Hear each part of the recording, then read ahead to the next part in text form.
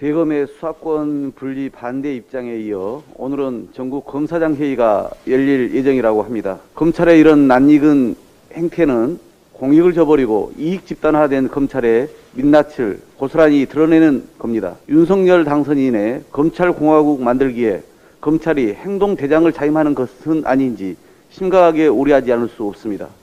검찰은 자숙해야 합니다. 우리 국민들도 아시다시피 다른 선진 국가들과 달리 기소권뿐만 아니라 수사권까지 갖고 있는 대한민국 검찰은 그 권한이 지나치게 과도해서 늘 논란의 중심에 있었습니다. 이에 민주당은 세계적 추세와 국민적 요구를 바탕으로 수사와 기소를 각각 전담하는 국가 기관 간의 상호 견제를 통해 검찰의 권한 남용을 방지하고 국민들이 사법 행정에서 억울한 일이 없도록 하기 위해 입법 논의 중입니다. 집중된 검찰의 권한 분산은 국민의 기본권 향상을 위한 실의 정신입니다. 검찰은 검찰개혁의 당사자로서 보다 겸허한 자세로 국민의 뜻을 존중하고 국회에 협력해야 할 것입니다. 갈등을 앞장 서장하는 국민의힘도 지나칩니다. 민주당의 검찰 수사권 분리 논의를 놓고 만행이자 천인 공노할 범죄라고 언급한 국민의힘 원내대표의 발언은 매우 부적절합니다. 국민의힘과 인수위원회는 입만 열면 협치를 말하는데 과연 이런 거친 도발적 표현으로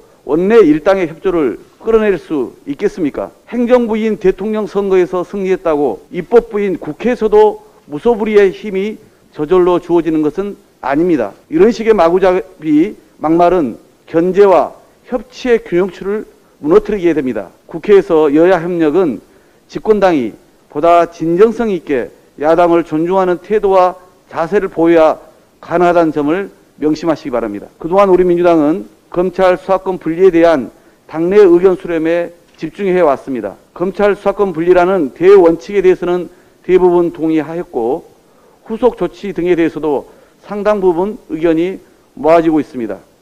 내일 정치구청에서 국민과 당원, 지지자들의 뜻이 더해져 결론에 도달하게 되면 국민과 역사를 믿고 자고우면하지 않겠습니다.